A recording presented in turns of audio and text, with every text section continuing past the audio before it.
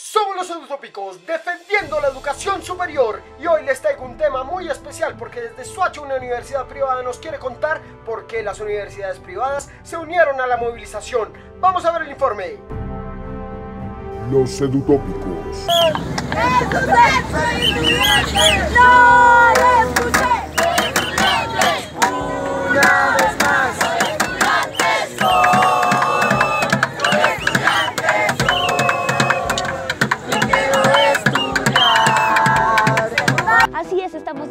Minuto de Dios de Soacha y les vamos a contar las seis razones por las que las universidades privadas nos unimos al paro.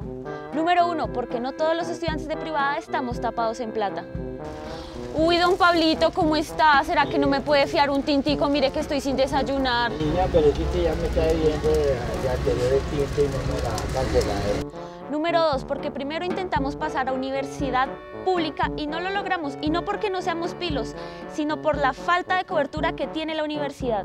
Es articular dos movilizaciones nacionales, una por la educación superior y otra en contra de la nueva ley de financiamiento que lo que pretende es terminar de arruinar a la clase trabajadora y obrera de este país. Número 3, porque entendemos que la educación superior debe ser un derecho de todos y no un beneficio de pocos. ¡A por las fotocopias! ¿Cinco mil unas copias? No, tienen hue- Número 4, porque pagamos impuestos para educación superior y no sabemos para dónde se van esos recursos. Jamás será vencido.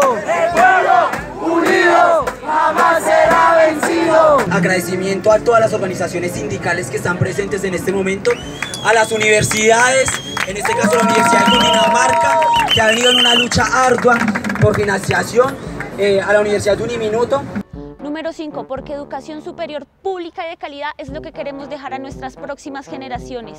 Queremos caminar. Queremos caminar. Nosotros estamos movilizando.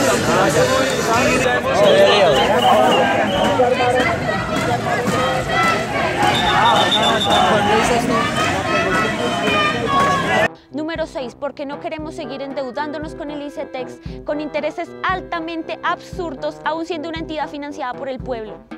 100, 200, 300, puta, no me alcanza para el bus.